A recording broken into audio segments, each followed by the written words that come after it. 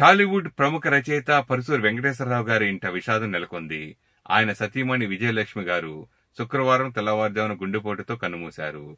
విజయలక్ష్మి గారి మృతికి పలువురు సినీ ప్రముఖులు సంతాపం ప్రకటించారు. ఆ వివరాలు ఇప్పుడు. ప్రముఖ రచయిత పరచూరి వెంకటేశ్వరరావు సతీమణి పరచూరి విజయలక్ష్మి శుక్రవారం తెల్లవారుజామున గుండెపోటుతో మరణించారు.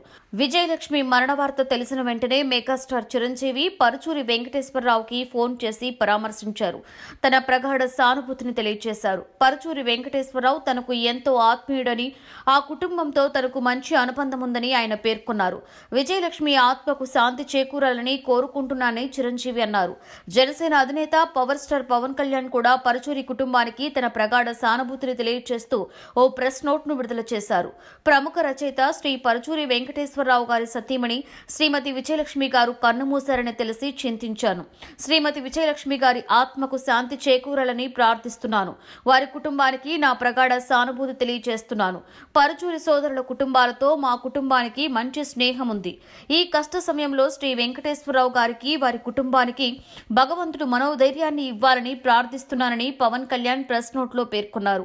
పరచూరి వెంకటేశ్వరరావు గారి భార్య మృతికి మూవీ ఆర్టిస్ట్ అసోసియేషన్ సంతాపాన్ని ప్రకటించింది. విజయలక్ష్మి గారి మరణం పరచూరి కుటుంబానికి తీరిని లోటు అంటూ మా అసోసియేషన్ ప్రగాఢ సానుభూతిని వ్యక్తం చేసింది.